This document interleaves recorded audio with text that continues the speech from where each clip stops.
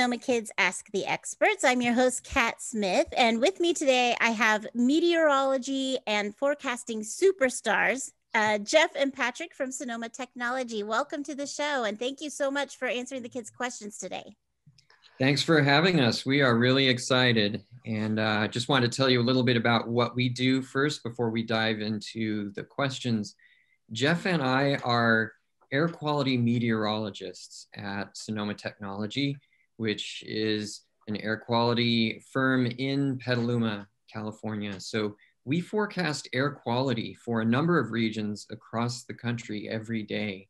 We have meteorology backgrounds, but we also uh, have training in atmospheric chemistry and pollution. And so we apply what we know about meteorology to air quality to make air quality forecasts every day.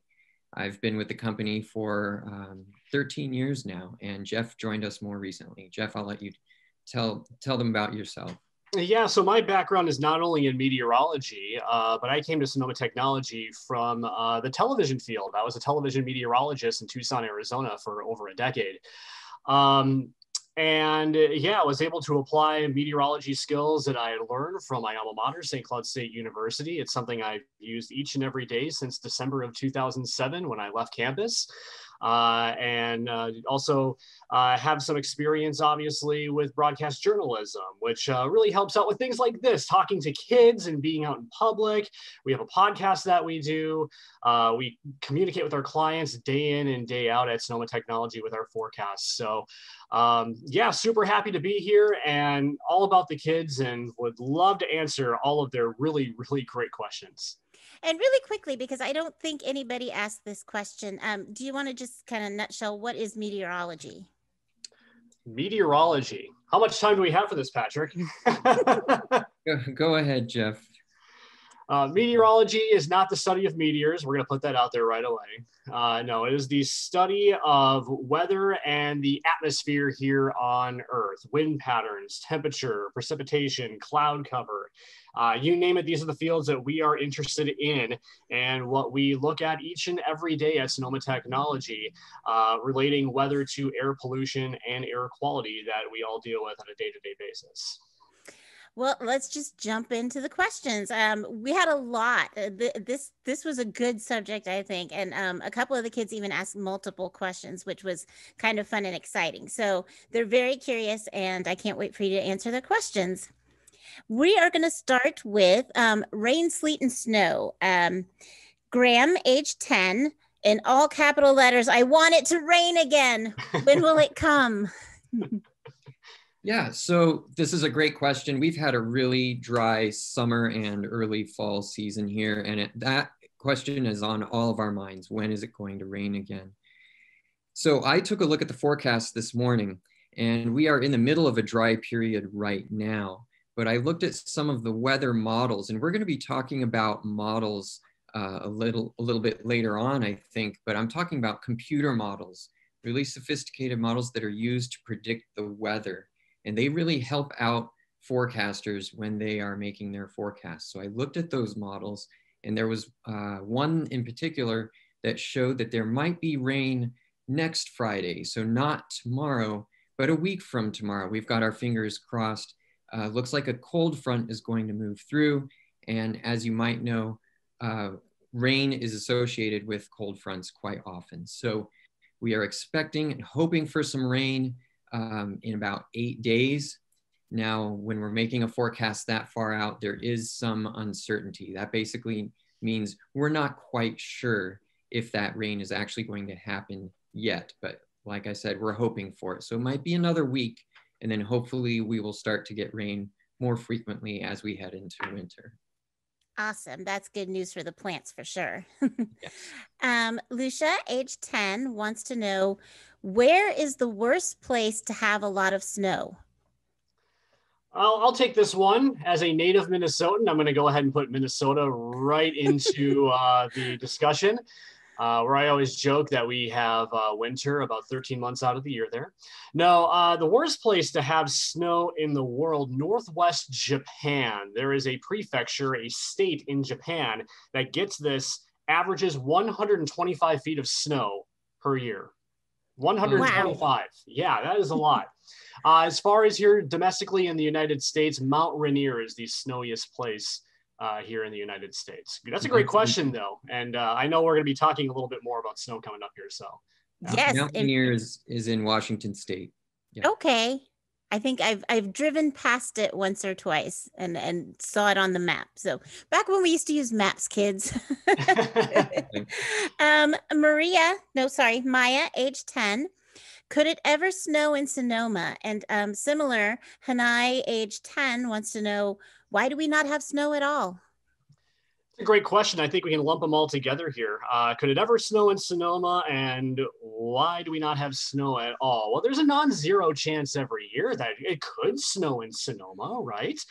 Um, but generally, it is just frankly too warm for it to snow here in Sonoma County.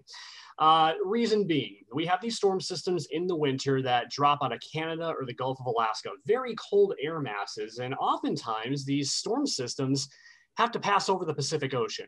And what the Pacific Ocean does is modify or warm up that air mass just enough where it is too warm for snow to reach the ground here into the lower elevations of Sonoma County. That being said, it could still be cold in the upper levels of the atmosphere to the point that we could see a little bit of snow on, say, Sonoma Mountain or some of the other coastal ranges here in Northern California. And Patrick, I'll let you kind of talk a little bit more about that.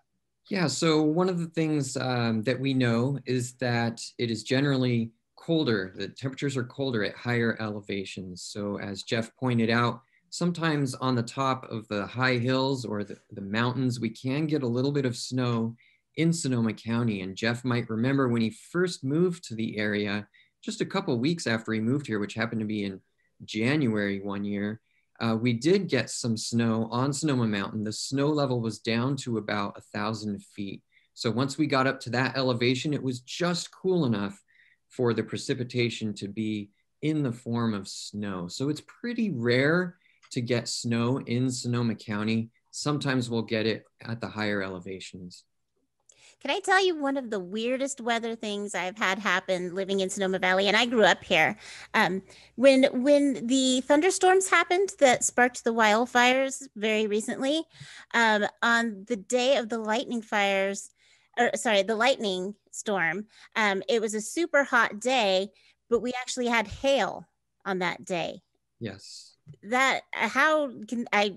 That's probably an hour long answer, and I don't need to hog the kids' time. But that was a really weird occurrence for me, having grown up here. Never had that experience before what was weird about that situation, uh, number one, just thunderstorms during our dry season, right? That alone is an oddity here in the Bay Area. But also, uh, you'll recall perhaps your phone woke you up at about 5 30, 6 o'clock in the morning that Sunday to the entire Bay Area being under a severe thunderstorm warning, which had to have been the largest severe thunderstorm warning ever issued by the National Weather Service. I have never seen uh, that many people impacted by a severe thunderstorm warning. It was very, uh, very impressive and very rare for sure.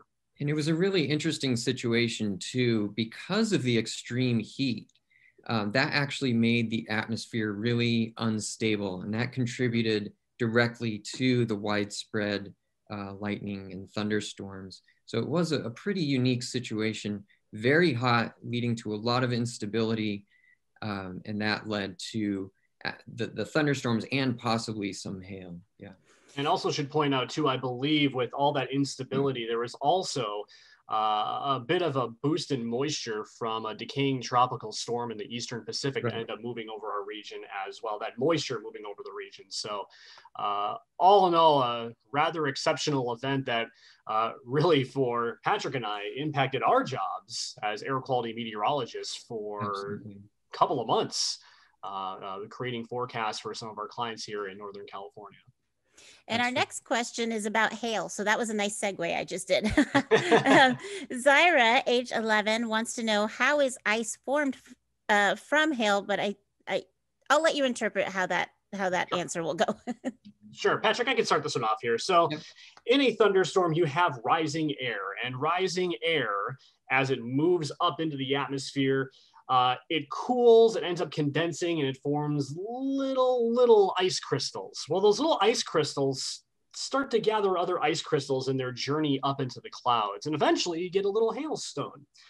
But still, as you're adding all these ice crystals up, the hailstone can grow larger and larger and larger until it becomes so heavy that it falls out of the cloud and reaches the ground here. And sometimes you can actually have those hailstones recirculate within a cloud. So they might get lifted up and they, they gather more ice, then they start to fall. But then, depending on how unstable the atmosphere is and how much lift there is in a cloud, it can be circulated several times and it can just accumulate ice on its surface until, as Jeff said, it finally gets too heavy and it falls out. So the size of the hailstone uh, relates to how many times it's been circulated within that cloud, basically. And basically, I think for golf ball size hail to sustain any thunderstorm to be suspended in the air, uh, I believe you need to have rising air to the tune of about 55 to 60 miles per hour. So basically, as fast as you drive on the 101. wow. That's how fast the air needs to be rising in order to keep that hailstone lofted in the atmosphere. And that's really remarkable. We think about winds sort of blowing horizontally from side to side, but there are vertical wind motions, especially within these clouds um, and especially during thunderstorms. You kids ask the best questions. I learned so much. I, they're asking the questions, but I sit here every week going, oh, wow, that's fascinating. And I'm learning along with them. These are really good questions. Yeah. Um, we're going to move on to a new subject smoke and fire related weather. Uh, Grant, age 10, what happens to smoke after a fire? This is something that Jeff and I pay attention to very closely because we have to forecast the air quality. So we are paying a lot of attention to exactly what is happening to smoke coming from fires. Um, but I think this question is sort of asking, well, what happens when the smoke gets really far away from fires? um, or it's been a long time since that smoke was produced. So the first thing I want to point out is that smoke is a really complex uh, mixture of particles. It also has some gases and those, those particles and gases can be transported really far. That just means that the, the wind will carry that smoke. It could be hundreds or even thousands of miles. So that's sort of the first thing that happens to smoke after a fire is that it can be pushed around um, even several states away or across entire oceans. Um, but then eventually, a lot of that smoke actually just gradually falls to the ground, especially the larger particles. Now, some of the really tiny particles might stay in the atmosphere for a long time. Now, I mentioned that there are also gases in smoke, and the gases can actually remain in the atmosphere for, for a very long time. It depends on which part of the smoke that we're talking about. There's also one, one other uh, situation that might help remove uh, the smoke from the atmosphere, and that would just be a, a rainstorm. Uh, the raindrops can actually gather, or as they say, scavenge those smoke particles from the atmosphere and bring them back to the ground. So eventually it does, a lot of the smoke does come back to the ground, but it can be transported great distances before that happens. And uh, speaking of the particles, our next question um, Ryan, I think is how she pronounces it. Age 11. What is smoke made of? So I mentioned this a, a little bit in the last question. It is a complex mixture, um, but mostly the smoke is made up of the things that have just burned. So especially if we have a wildfire in a forest area, we're talking about trees mostly, and most of that is carbon. So we get these uh, what they call black carbon um, particles within the smoke. So a lot of times when you see ash sort of raining down under, under a smoke uh, plume, a lot of that is carbon. Uh, but in, in addition to that, it can be a, a, complex mixture of a lot of different types of particles, um, different, different types of molecules and different gases as well. And Zyra had another question. Uh, why does the sky turn red when there are fires? Ah, that's the $64,000 question, you know, because that happened, what, about a month or so ago here in the Bay Area? Uh, this has to do with the scattering of sunlight. And I'm going to break this down into a couple of different discussions here. So make this as short and sweet as humanly possible. Let's start on a perfectly sunny day, uh, perhaps like the one that we're having here this afternoon. On a sunny day, the gases and the particles here in the atmosphere, uh, they end up scattering more blue light and, than the other colors. So that's why it's visible to us here on a clear, sunny blue day that blue light is visible. On top of that, uh, the reason that the blue light shows up better is because the sun has to travel a relatively short distance through the atmosphere to reach the ground. And that's why another reason why we see the blue color in the sky. I know it probably seems like, oh, wait, relatively short distance in the atmosphere because the sun's way up there and the atmosphere is so thick and whatnot, but uh, it actually is a relatively short distance compared to sunsets when you have the sunlight traveling through much more of the atmosphere, and that makes the reds and the oranges uh, a little more visible. Now, during a fire, when there is smoke, the smoke, what it does is scatters the red and the orange colors way more effectively and it blocks out that blue light. And that's why during a fire, when there is smoke around, the sky can turn red. And it, also has to do with um, the size of the, the particles. So the smoke particles are larger than the, the, the particles that um, the sky, that the sunlight is normally scattered um, through the sky by. So uh, the, the larger particles tend to scatter the red colors. And you know, the red sky is what actually inspired me to reach out to meteorologists to answer questions this time because I knew they'd have questions. um, now we have some random weather questions. Uh, Jonah, age 10, is the Earth slowly getting hotter? Also, what was the hottest day on Earth recorded? I'll take the first part of this. So, um, scientists have been taking measurements of the Earth's temperature all over the globe for a long time now. And the evidence does indicate that yes, the Earth is slowly getting warmer. And I think we have, we'll have a chance to talk about this more a little bit uh, later, but that's largely because of the greenhouse effect, uh, which warms uh, the atmosphere. And there are some gases in the atmosphere that warm the atmosphere more uh, than other gases. And humans have been adding those gases uh, to the atmosphere for at least the last 150 years, uh, leading to more warming than we would normally expect. Now, it happens so gradually that you don't necessarily notice it year to year. Each year has some really hot days in it, but uh, this, this warming effect has been really gradual over the last 100 years or so. And I'll let Jeff talk about the, uh, the hottest day on Earth. The back half of the question, yeah.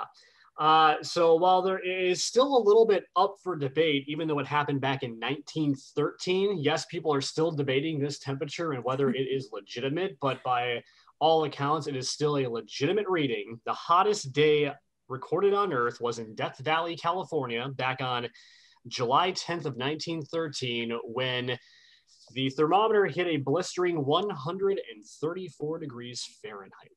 Oh my goodness. And I'm thinking about that big giant um, thermometer on the way to Vegas. Uh, how high does that thermometer actually go? I mean, would you be able to see that or was it just the weather people keeping track? Oh, that's a good question. Back in 1913, are we talking? uh, that's true. I don't think it would be there. Eh, I mean, that would be quite the technological advancement.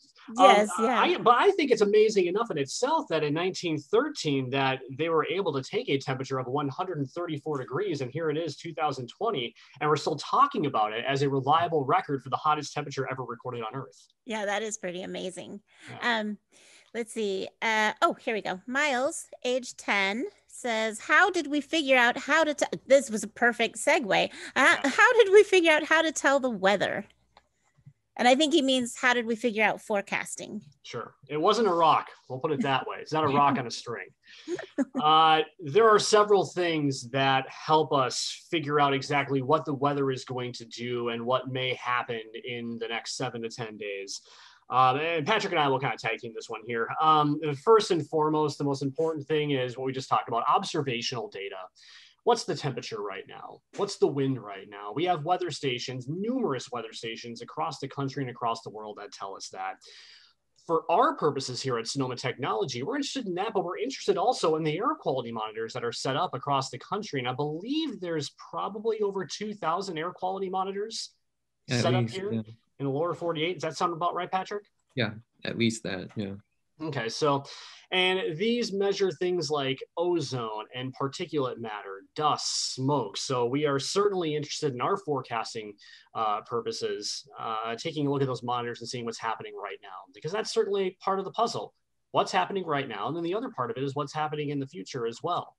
Uh, we have very sophisticated tools called weather models. And I think the shorthand answer to what a weather model is, it's a big long math equation that takes in all sorts of different weather variables, be it, be it moisture or wind or temperature, puts it all into an equation, spits out a forecast for seven to 10 days out. So that's the shorthand version of weather models. And Patrick, I'll let you pick it up from there if you'd like. Yeah, that, that basically explains it. But there, like Jeff was sort of indicating, there are two parts to it. There is uh, the, there are the weather observations. So we need to observe what's currently happening with the weather. We take measurements of, like you said, the, the moisture, the wind, the temperature, um, not just at the surface, but above the surface. And we feed those observations into these computer models that use equations from math and physics to calculate what's going to happen in the future. So that's been a, a really interesting um, area of our of, of meteorology in the last 30 years especially these weather models have gotten much more sophisticated and more accurate so um, those are those are tools that jeff and i rely on every day and they really help uh, to make our jobs easier when we're predicting the weather and just we left out a couple of tools by the way uh, satellite imagery, the satellites up in space taking pictures of the clouds for air quality meteorologists, that's certainly important. Uh, also important that they also can pick up where dust is visible and possibly moving across the country. Uh, and of course, wildfire smoke as well. And then there's Doppler radar, um, which detects where it's raining, how hard it's raining. Uh, with air quality, Doppler radar can actually pick up individual smoke plumes from fires, so we can detect where that is. It can also detect uh, the way the winds are blowing and whether there's rotation in a thunderstorm. So we could try to see if there are tornadoes that are developing with thunderstorms. So um, we have a lot of tools in our tool chest that we use on a day-to-day basis and it's amazing that we even have access to that technology now too. I i remember being at a rugby game um, back when we were allowed to be around people. And um, i had the ktvu weather app on my phone and you could pull up that radar and it was it was a spotty rainy day. So every once in a while it would rain. And i just had the app open and every time i could see okay it's about to hit us i'd pop up my umbrella and then it would hit and it would pass and i just wait for it to happen again. I was the driest person at the rugby game. Think about how much technology has advanced in the last even 10 to 15 years to allow us that option to right? just go onto your phone and look up a radar weather app to see if the rain's going to be moving in. Yeah, it's uh, just it's, amazing. It, it, it's absolutely amazing. So let's see. How did we figure out the weather? Um, and we just covered. So Jade, age ten. I think that we just answered your question also, which was how do you use technology for weather? Um, yeah. And also Avery, age 11. I think we answered yours because you wanted to know what the tools were. Um, so we're going to move on to Jonah, age 10. What is the coldest place on earth? I think it's Minnesota, we established. And um, what was the lowest degree it got to? Jeff, I'll let you take this one. Yeah, Patrick, she used my bit. yeah, exactly. That's good though. Uh, it's it's not Minnesota. No, it's not Minnesota. Uh, I did look it up. Let's go to Antarctica, shall we? Okay. In July 1983, remember uh, Southern Hemisphere, our summer is their winter. So July 1983 in Antarctica, the thermometer bottomed out at 128 degrees below zero. Wow. On a balmy July day in 1983 in Antarctica and that plays a little game with your mind because you hear July and you think hot. So right, wow. Santa right at home in July down there in Antarctica. Exactly. Um, Isabel, age ten. Oh, sorry, Isabella, age ten.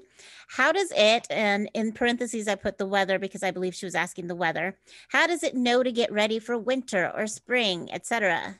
Yeah, that's a great question. Uh, and thank you, Isabella. And actually, thank you to all the kids for just the tremendous questions uh, that, that we got in. Uh, I think generally the weather is just responding to the way that the Earth is tilted uh, in relation to the sun and our orbit around the sun on a yearly basis. Uh, let's think about during the winter time the earth is actually tilted away from the sun. So we're not seeing as much sunlight. So that's why our days are cooler. Conversely, in the summertime, the earth is tilted toward the sun. We see more sunlight. We see warmer days. So really the weather is just responding to the way that the earth is tilted in relation to the sun. Right. And and also how much heating we're get uh, getting each day. So during the summer, there's a longer period of heating because as Jeff pointed out, um, we're, we're getting more sun. So yeah, that contributes to the change in the seasons every year. And let's see, we have uh, oh several kids asked this question, so it must be a big one. Uh, Andrea, age ten, and Avery, oh, sorry, Avery and Himina. I think I'm pronouncing your name right. Both age eleven.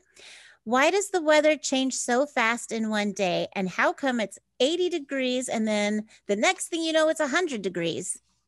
because we live in Northern great... California. Go ahead, Patrick.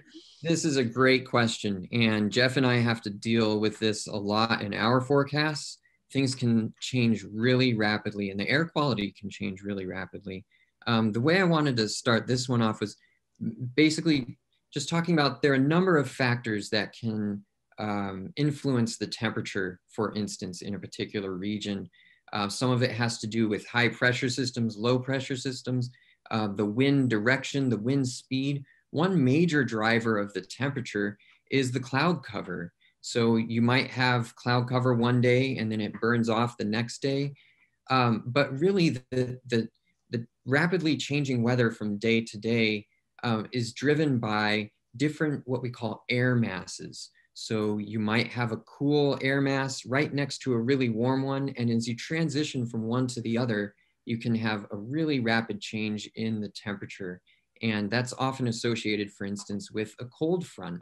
So a cold front is just a boundary between those two different air masses, a one that's warm and one that's much cooler. And when that passes through, you know, you have a new air mass that has different characteristics and it can be much, much cooler uh, it, it, can also work the other way where you have uh, really quick heating from one day to the next. Jeff, I think you wanted to talk a little bit about um, the marine layer. Yeah, in relation here to Northern California, the marine layer can certainly play tricks on our temperature. You can wake up to the 50s and low 60s. You can have that coastal marine layer into the Petaluma Valley and over Sonoma Mountain and into the valley floors, uh, into Napa County as well. But as the sun comes up, as it heats up the ground, we see that erosion of the marine layer. The winds start to shift around as well. And before you know it, we go from 80 to 95 uh, here in Sonoma County. So uh, it certainly has a here for Northern California, uh, Bay Area specific, the marine layer plays a huge influence. How thick is that marine layer?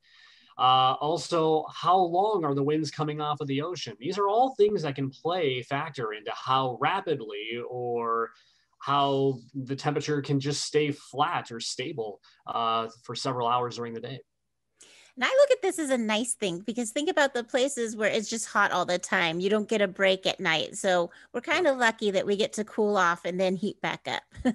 exactly. So I, prior to being here in the Bay Area, um, I lived in Arizona for 11 years. I lived in the, in the Tucson area where our backyard hit 120 degrees a couple of times during a summer and there's no break from it. And even when you have your shades drawn, uh, it's still very, very hot.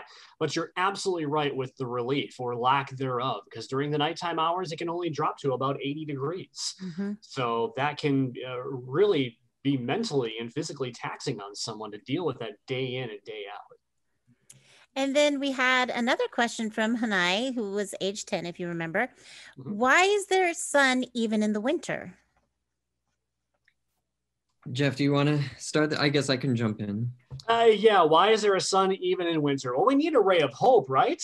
Even though it's winter, you know, we need to have a ray of hope. But the sun is always there, whether it's winter or spring or summer. The sun is always there, even when the surface temperatures here are cold in Northern California. And again, this all relates to uh, how long the sun is out uh, during the seasons. In the wintertime, we don't get as much sunlight.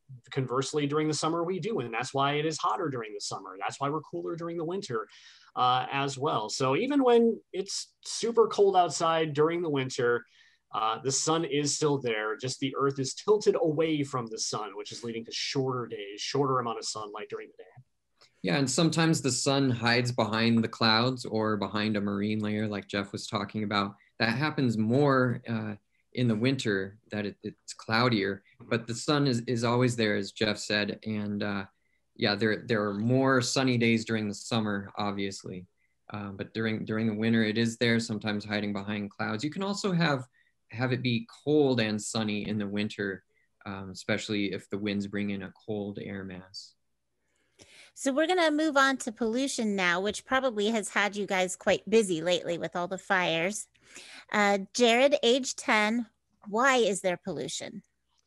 That's a great question. Patrick, you want me to bat lead off on this one? I'll let you kind of sure. pick up sure. from there. So, uh, Jared, great question. Why is there pollution? Well, there are numerous sources here on Earth that generate air pollution. Among them, us, humans, by driving, by using plastics, uh, by burning things. Uh, we contribute to air pollution. Wildfires contribute to air pollution. Factories contribute to air pollution. Uh, these are all different things that can take our clean air and dirty them up uh, in a short amount of time. Patrick, I'll let you pick up from there. Well, that basically covers it. Like Jeff said, there are a lot of different sources of air pollution. Uh, some of them are human caused, some of them are natural. Yep. And uh, we're always dealing with that. We've taken some steps to reduce the amount of pollution that humans add to the atmosphere, but it's still there. And uh, that's, that's why Jeff and I basically have jobs uh, because we are predicting that air pollution. And if you're curious about the human uh, aspect of adding to pollution, I want to remind you all that our last guest was from Sonoma Recology, and we covered a lot of the the subjects of plastics and um, garbage and where it goes and what it does. So um, I encourage you to go find that guest if you missed it. Um, Nathan, age 11, when is air pollution gonna stop? Jeff, I think you had prepared something on this, but I can I can jump in. Um, yeah. Why don't, you, why don't you go ahead, Patrick? I'll, I'll let you and then I'll chime in. Well, the, the short story is air pollution is not going to stop, um, especially as, as long as, as humans are here and we are emitting pollutants into the atmosphere. But like we said, um, just with the last question, there are a lot of actions that we can take to minimize the amount of pollution that we're emitting into the atmosphere. Uh, some of those things we can do uh, using cleaner energy. So instead of say burning coal for energy, using uh, solar or wind energy, also reducing car trips, for instance. Uh, cars, since there are millions of cars on the road, um, taken together, they can add a lot of pollution to the atmosphere. If we all take some steps to reduce uh, our car trips, then that can have a significant impact on, uh, on the air quality. Yeah, I think Patrick definitely hit on it. And one thing that, uh, for instance, how important is it for reducing driving? Well, during the summer months, the primary pollutant in our atmosphere is ozone. Uh, and ozone develops through a combination of factory emissions, car, car exhaust, and sunlight hitting it. Uh, that chemical combination creates ozone. And if we are able to just reduce our driving, maybe take our trips during the evening hours when the sun isn't out. That can really go a long way. One action, one action that you can take can go a long way in reducing air pollution. And I, I did want to say that the air quality is better now, generally, especially in California, better now than it was, say, 40 years ago. Um, we've taken steps to reduce uh, the emissions coming from cars and that has really helped uh, in addition to a number of uh, other actions we've taken but the air quality has really improved uh, especially since i was i was a kid growing up in southern california i think you guys don't get a lot of opportunities to have actual physical evidence of this, especially since in LA, everybody wants to be in their car. But one of the fascinating things was when we got the stay at home orders and everybody was forced to stay home for, I, think it was two weeks before people really started driving again. You could, you could see the difference. Um, I think parents can look up those pictures for kids if they want to see an actual before and after to kind of get an idea what stopping the, the amount of cars actually does make an Im- impact. Yeah. And Jeff and I are actually working on a project right now analyzing that exact thing. We're looking at air quality in the Sacramento region um, during uh, the earlier stages of the pandemic and during the shelter in place orders, especially looking at late March into April, uh, early May, and analyzing what the air quality, the observed air quality was during that period versus the surrounding periods, but also looking back to years in the past. So comparing April this year, say to April last year, or all Aprils looking back the last decade. And what we've seen so far is that there was a, a really significant impact just from that reduced activity in helping to clean up the air. I think that's going to be really interesting. Um, let's see. And speaking of cars, Jonah, age 10, wants to know Are cars making the Earth's weather dangerous? Uh, well, that's complex. I the short answer is um, not directly, but it's possible. And one mechanism that we can sort of walk through is through that that global warming that we were talking about before, where I said there are certain gases that we emit that uh, lead to warming more rapidly than than we would expect. So cars emit some of those uh, pollutants and some of those gases that can contribute to global warming. Now, under a global warming situation, there are um, certain weather events that might happen more frequently, which can be dangerous. Jeff, did you want to talk a little bit about this?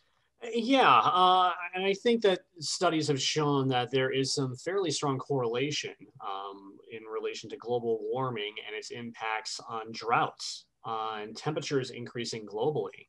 Uh, and here in Northern California, where there's droughts, vegetation dries out, uh, and that can lead to more explosive fire growth, larger wildfires. Um, in relation to tornadoes and hurricanes, uh, there's still a lot of work that needs to be done to see if global warming is having an impact on those things. There's not a real good correlation between those. Uh, but for uh, larger scale events like droughts and wildfires and globally the temperature going up, yeah, there is a relation uh, between global warming making those things worse or hotter. So let's see. We have Brady. Oh, wait. Jaden, I skipped Jaden. Sorry, Jaden, age 10. Uh, why don't we focus on the problems we have right now? Which problems are we talking about? That's right. I feel like you are focusing on them. I'm going to give you guys a pat on the back. I think you guys are focusing on them. so I'm thinking when when Jaden asked this question, um, it might have been during that period when we had a lot of dense smoke from wildfires. So that's the first thing that comes to mind. And whenever there's smoke from wildfires, uh, Jeff and I do focus uh, very intently on the on the current situation um, it, it just doesn't just lead to poor air quality right now, but it, it's difficult to make a really accurate forecast. So we sort of go into uh, high gear when we're making our air quality forecasts. So that that was really uh, mid-August that we had that lightning uh, episode that led to a number of fires all over Northern California. A lot of those fires became very large and produced a lot of smoke. A lot of that smoke was transported directly into uh, Sonoma County, and some and there, there were periods of light winds where the smoke just lingered. So um, that was something that we were we were watching very closely. The air quality was really bad on a lot of days, and finally the um, the fires died down. There was less smoke production, and especially on days when there was a wind shift, especially winds coming from the ocean, that could sort of push the smoke out of our area and bring some cleaner air in behind it. Um, so we're always watching the, the fire and smoke situation, keeping an eye out for new fires that might pop up, trying to see if they're producing a lot of smoke and if that smoke might uh, affect our, our region. Um, it's something that we watch every day. I should also mention Patrick too. You know, along with uh, Patrick and I, as air quality meteorologists. Um, we have many air quality scientists that work at Sonoma Technology, a lot of very bright men and women that are working on tackling the problems that we have right now with air pollution, uh, not only here in the United States, but globally as well, with several international projects that we do work on. So it is being addressed. I don't think there is any clean solution that we're going to come out with in the short term, in the near term, that is. Uh, but it is something that we're all working toward. Uh, is working on this problem and coming up with a solution, uh, if not now, down the road. So Brady, age 10, um, grammar on this one. Why does people pollute the sea and earth, and how much pollution is produced every day? That's yeah, a tough Patrick, one. I can see your stuff. yeah, this, this, one, this one is Patrick. I'll, I'll, I'll uh, bat lead off here on this one. Why do people pollute the sea? I, you know what? That that's a question that maybe doesn't have an answer. I don't know if we can answer for human activity on why people pollute. But uh, I do know this that us as humans, we're always going to have an influence on this earth, uh, be it with polluting the sea or with air pollution, with driving, with wildfires out there. Um, we're always going to have an influence on pollution levels, us humans uh, here on Earth. So it's important to take inventory and see what can we do to reduce our carbon footprint each and every day. And we, I know we've talked about it before, and I'll mention it again: reducing our driving, reducing our waste, recycling, uh, investing in clean energy. Perhaps one day we can have a grid that's on wind and fully on solar. I mean, these are all solutions that uh, could lessen our human impact on pollution here on Earth. Yeah, just to follow up on that, I mean, it, it's kind of sad, but as long as there are humans, there's probably going to be some pollution. As long as there are wildfires, there's going to be some pollution. But as Jeff pointed out, there are a lot of steps that we can take uh, to reduce the amount of air pollution that we are contributing. Um, so yeah, the, the second part of that question, how much pollution is produced every day? Well, that, that's a, a big question. There are a lot of different pollutants, um, but I looked up just, just one of them. I was uh, looking at CO2, so that's carbon dioxide. Um, and according to this source, uh, 43 billion tons of CO2 are produced worldwide uh, per year. So you can divide that up to get the per day um, emissions, but that, that's a lot of tons of CO2. Um, and that, that amount of CO2, especially because carbon dioxide is uh, a greenhouse gas, that, that does contribute to global warming, unfortunately and that's directly related to people. Yes. Yeah. That was that was the human uh, emitted car, uh, carbon dioxide. So we have a new subject now. We're going into the ozone and climate change. So Lucia, age 10, wants to know what is the ozone, and Tig, age 10, wants to know how big is the ozone layer. So ozone, that, that's a great question. And ozone uh, can be complicated, but basically it's an ozone molecule is three oxygen uh, atoms tied together. And the thing that we learn as air quality scientists and forecasters is that ozone near the ground is harmful. Ozone high up above the ground actually is helpful. So uh, when we are forecasting air quality, we're talking about just the ozone very near the ground. And as Jeff mentioned before, um, that ozone is formed by emissions from, from cars and other sources plus sunlight. But the ozone up high in the atmosphere, so this we're talking about miles above the atmosphere, that actually blocks uh, harmful uh, UV rays from the sun. And that ozone layer around the entire Earth actually protects humans um, and, and plants as well. Um, the ozone layer basically does cover the entire globe, although there is a hole over Antarctica, and scientists have been tracking that. And uh, we've actually tried to reduce the emissions of certain pollutants that lead to uh, basically the eating away of that ozone layer over Antarctica. So we've tried to uh, repair that hole. I should add that we have an acquaintance that Patrick and I uh, had had met earlier in the year at a conference that has maybe the best analogy for ozone that I think I've heard. Ozone, good up high, bad below. Okay. Uh, Jaden, age 10. Um, he said that he wanted to hear from an expert on air. So I would argue that we're talking to them now. Hi, Jaden. um, and he, he says, What can you tell us about it? About air? That is a great, broad question. and uh, air, air is complicated but it's it's got a lot of different gases, mostly nitrogen, a lot of oxygen too, which we breathe. It has other elements in it. Um, it extends, like I said, miles above above the ground, uh, and it has pollutants in it. But it also has clouds and moisture. It has different air masses of different temperatures. So it, it's a fascinating mixture, and the way that air moves around the globe, which is a sphere, and it's not just a sphere, but it's a rotating sphere. The, the, the math and the physics that go into trying to figure out how air is moving around the earth are very complex and it makes it um, difficult, challenging, but exciting to forecast the weather and the air quality. Yeah, air just doesn't move from west to east.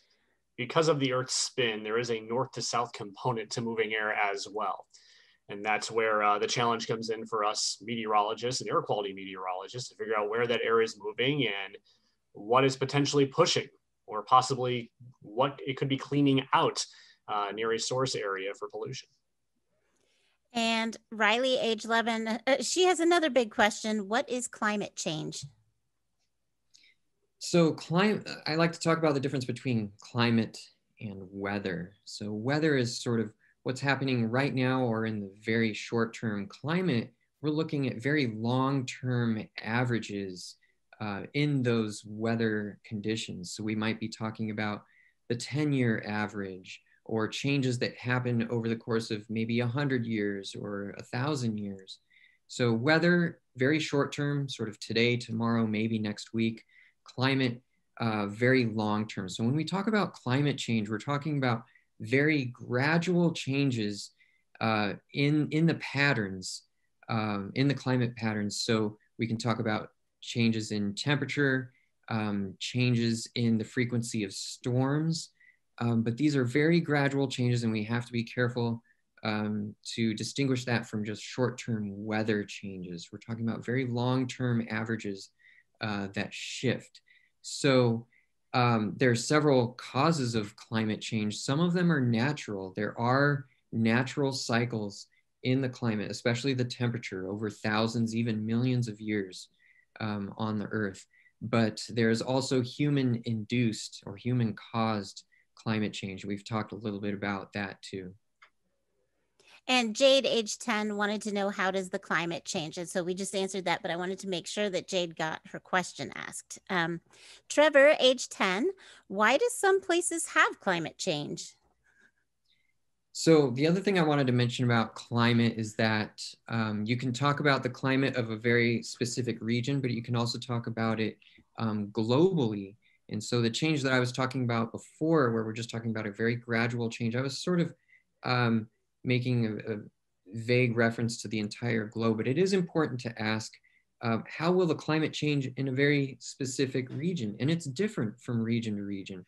I actually studied this in, in graduate school, how the, uh, the climate was, going, was predicted to change over the next 100 years in the Pacific Northwest, so Washington State, where I was looking.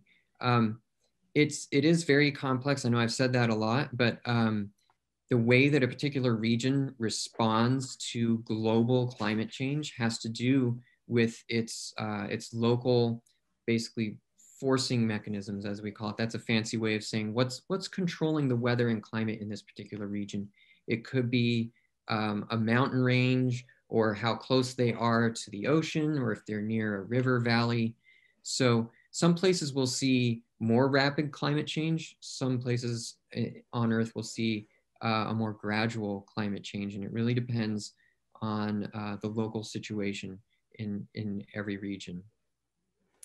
And then uh, this is another multiple kid question, so this must be another big one.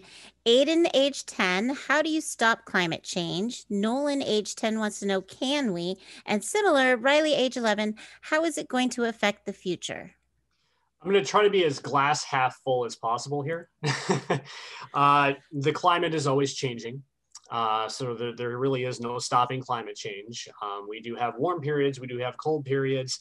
Uh, we're in a warm period right now, and humans are contributing to that. Uh, so, how is it going to affect the future, and how can we stop climate change? The only thing that I think we can really do is just, as we've already talked about, is changing our human behavior to maybe lessen our impact on climate change. As mentioned, the climate is always changing, and we are in a warm period right now that we are contributing to.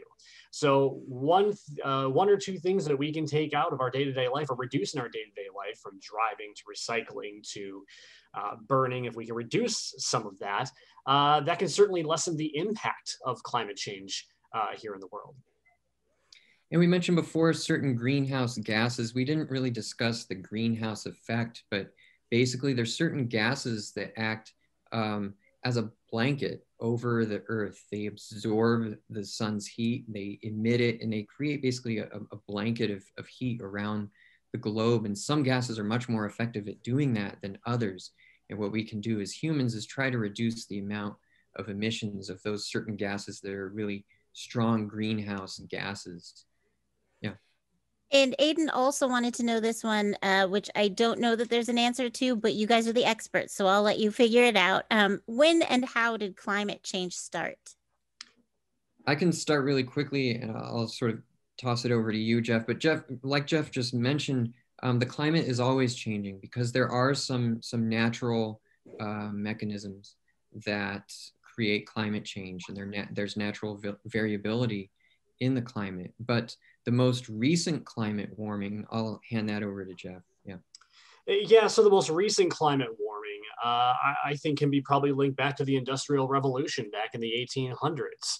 Um, as Patrick and I were kind of preparing for this uh, discussion for the kiddos, um, the, the one thing we pointed to is basically when we started burning things to heat our houses, to make products for our day-to-day lives. When the Industrial Revolution began, we started spewing pollutants into the atmosphere, uh, further enacting those greenhouse gases, which act like a blanket that absorb and then emit heat, and in turn makes it warmer here on Earth. And then uh, Tig, age 10, how is global warming destroying our Earth? So there can be a number of negative impacts from global warming. We've touched on a few of them already, but just sort of highlighting uh, more frequent heat waves, um, more frequent droughts. Also, sea level rise can threaten communities that are really close uh, to sea level near the ocean. Um, so there are some ways that it, it, it, can damage the earth. It can also damage certain uh, ecosystems, um, plant life, impact animals, not just not just humans. Um, but I did want to offer some hope. Um, there are a lot of scientists studying this specific problem and trying to come up with solutions so that we don't harm the planet and ourselves uh, too badly. And like we've sort of been saying throughout, how do we reduce emissions to avoid um, further impacts? That, that's one of the big questions on our minds. Um, it can be difficult when, um, you know, we're used to driving a lot, um, and we we rely on a lot of different uh, energy sources that do emit pollutants. Um, it does require a little bit of, of change on, on everyone's part, um, but we are studying the problem and we're optimistic that we can um, sort of repair, repair the climate and um, prevent really damaging future impacts. And our last question was from Coulter, age 10, who wanted to know what what is greenhouse gas, which we just covered. But is there anything else you want to add to that uh, for him? Um, I think I think we covered that, but it, it is a gas that warms the atmosphere because it acts uh, like a blanket, basically uh, responding to the the energy input from the sun and then warming warming the globe. There, I can mention a couple of greenhouse gases uh, specifically. Carbon dioxide dioxide is one that we mentioned before. Um, also, methane um, also, water vapor actually serves as a, as a greenhouse gas uh, to some hmm. extent. Um, so yeah, that, that's basically the short answer, but I, I encourage, encourage you to uh, study it more. We do need more scientists studying this problem and helping to come up with solutions. Well, and that was leading to a, a, question from me. If kids are listening and they're fascinated by what you do, um, what are some of the subjects that they might want to start looking at studying in school? Uh, I would start off by obviously seeing a lot of science. Uh, get really invested into the science work that you're going to be doing in your school. Um, while it's not used on a day-to-day basis in direct application for us as air quality meteorologists uh, but math kind of sets your brain into a different level of thinking um, it, it helps you solve critical problems like two plus two equals four or in what we talk about on a day-to-day basis air pollution looking at weather models to see if they are right on with what could be transpiring in the next seven to 10 days. Uh, climate models, they use math equations as well. Uh, math kind of sets your brain into that critical thinking phase. So you start to take a look at the bigger picture with just one question and start to think of different solutions. Yeah. And I, I mentioned, uh, in addition to math before, physics. Um, we studied physics to learn about how, how the atmosphere moves around on the globe. Um, and then when we develop these sophisticated uh, computer models, that's that's computer science, but applying what we know from math and physics to develop those models. So that's probably farther down the line. Um, but yeah, especially paying attention to to math and science. That's that gives you a great foundation. Well, we've been talking to Patrick and Jeff from Sonoma Technology. Kids, great questions again. Um, if they have more questions for you, can they reach out to Sonoma Technology? Absolutely. Yeah, we'd love to hear from them. Awesome. Well, thank you guys so much for your time today. And thanks, kids, for listening and keep sending in great questions. And I've already got pretty much the whole rest of the year um, booked up with guests because they all had suggestions. So they're doing such a great job. Thank awesome. you guys so much. Well, thank, thank you for the opportunity. Yeah, and thanks for the great questions. Yes. Awesome.